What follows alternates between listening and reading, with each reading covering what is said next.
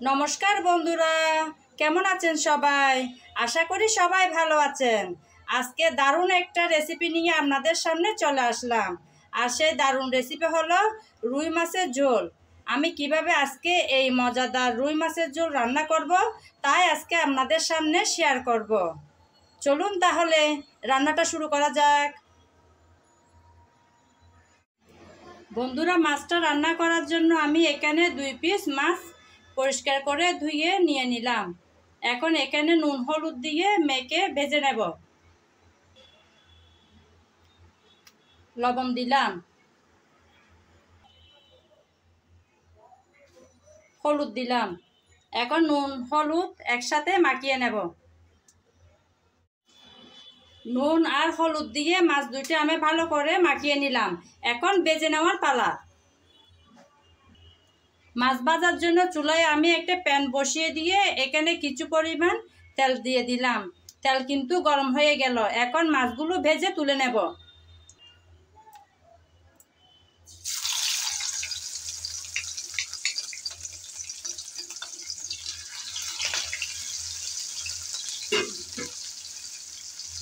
মাছ দুইটাই আমি তেলে দিয়ে দিলাম। এখন একটা পাশ পালো করে হয়ে গেলে তারপর অন্য পাশ উল্টিয়ে দেব। মাছের একটা পাশ কিন্তু হয়ে গেল। এখন আমি উঠিয়ে দেব।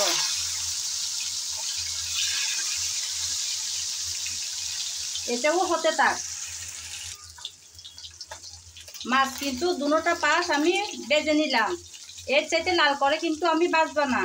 কারণ আমার মনে হয় রান্না করার জন্য মাছ এইরকম করে বাঁচলে বেশি মজা হয়।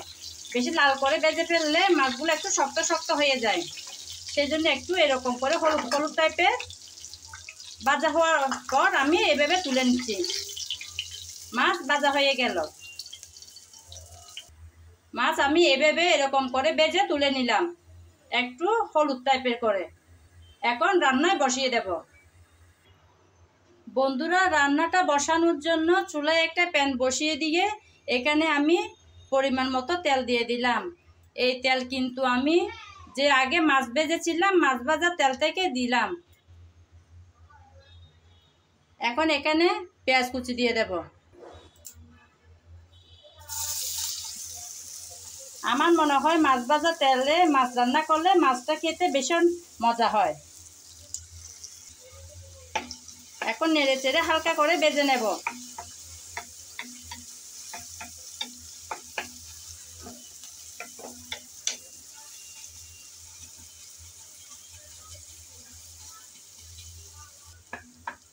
পেঁয়াজটা আমি নেড়ে চেড়ে হালকা করে বেজে নিলাম। এখন এখানে আদা বাটা আর রসুন বাটা দিয়ে দেব।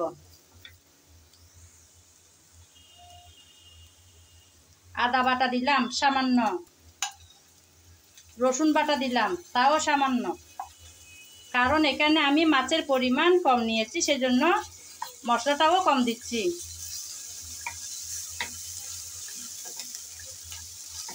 আদা, রসুন, পেঁয়াজের সাথে একসাথে ভালো করে বেজে নিচ্ছি।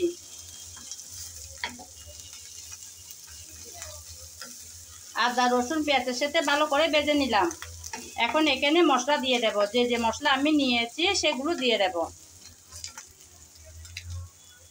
আমি নিলাম এখানে মরিচ, হলুদ, জিরা, ধনিয়া আর লবণ। এগুলো দিয়ে দেব। এগুলো দিয়ে ভালো করে আবার নেড়ে চেড়ে একটু কষিয়ে নেব। মশলা যাতে পুড়ে না যায়, একটু পানি দিয়ে দেব।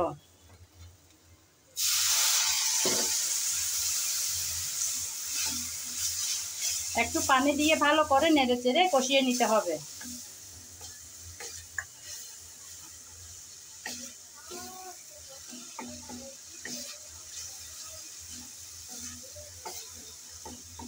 মশলাটা কিন্তু কষানো হয়ে গেল। আমি আবারও আরেকটু পানি দিয়ে আবারও দুই মিনিট কষিয়ে নেব।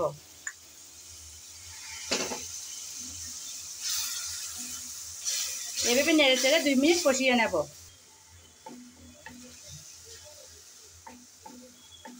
আমি আবারও পানি দিয়ে ভালো করে এক দুই মিনিট এভাবে নেড়ে চেড়ে কষিয়ে নিচ্ছি।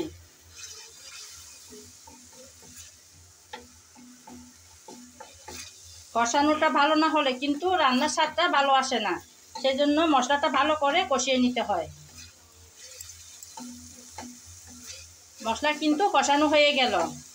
আজকের মাছটা আমি আলু দিয়ে রান্না করব। সেই জন্য একটা আলুকে আমি বড় বড় টুকরা করে কেটে নিয়েছি। এখন এখানে দিয়ে দেব। আলু দিয়ে দিলাম। আমি একটা আলু বড় বড় এভাবে লম্বা লম্বি করে কেটে দিলাম। আজকে শুধু দুইটা মাছে আমি রান্না করতেছি। শুধু দুই পিস কারণ আজকে আমি বাসায় চিকেন রান্না করেছি। কিন্তু আমার শাশুড়ি চিকেন খায় না। ওনার জন্যেই এই দুই পিস মাছ আমি রান্না করতেছি আজকে। ভাবলাম আপনাদেরকে শেয়ার করি। আলুটা ভালো করে নেড়ে চেড়ে একটু কষিয়ে নিতে হবে। কারণ আমি আলুটা আগে বেজে তুলি নেই। এখন এখানে একটু নেড়ে চেড়ে কষিয়ে নিলেই হয়ে যাবে।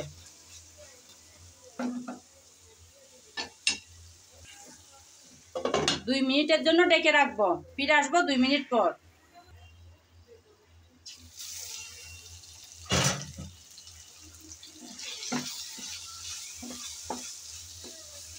দুই মিনিট আমি এরকম করে একটু ডেকে কষিয়ে নিলাম। চুলার আগুনটা ছোটো করে দিয়ে।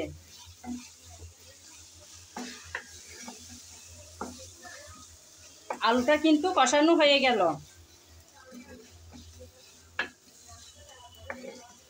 তবু আমি যতটুকু সম্ভব নেড়ে চেড়ে একটু কষিয়ে নিচ্ছি। এখন এখানে পরিমাণ মতো পানি দিয়ে আলুটাকে সিদ্ধ করে নিতে হবে। আলুটা সিদ্ধ হতে যতটুকু পানি লাগে আর কি। আমি এখানে পরিমাণ মতো পানি দিলাম। এখন ডেকে রাখব পাঁচ মিনিটের জন্য। ফিরে আসব পাঁচ মিনিট পর।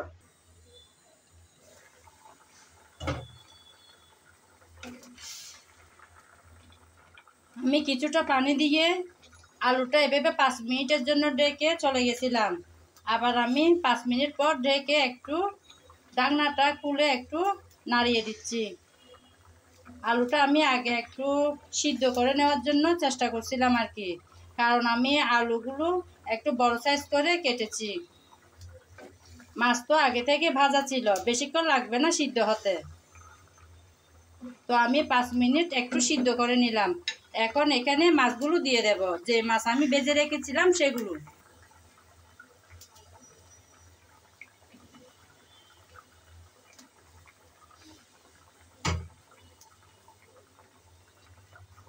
দুটা মাছ আমি দিয়ে দিলাম। এখন আবারও ডেকে রাখব পাঁচ মিনিটের জন্য। ফিরে আসব পাঁচ মিনিট পর।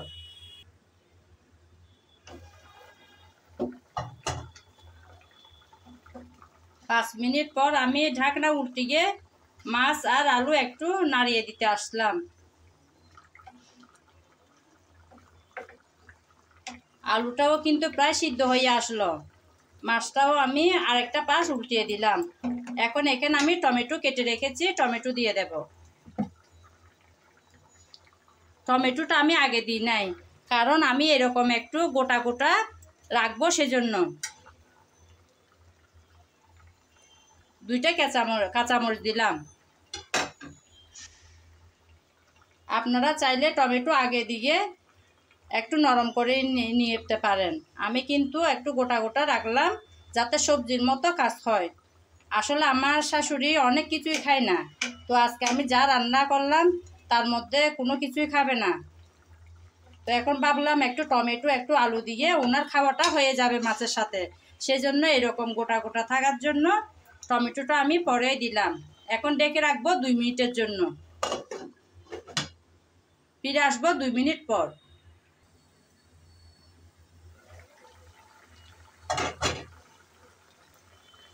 আমার রান্নাটা কিন্তু প্রায় শেষের পথে। এখন উপরে ধনে পাতা কুচি ছড়িয়ে দিলাম। রান্নাটা হয়ে গেল। এখন চুলাটা ছোটো করে দিয়ে আমি দুই মিনিট চুলার উপর বসিয়ে রাখব। ফিরে আসব দুই মিনিট পর।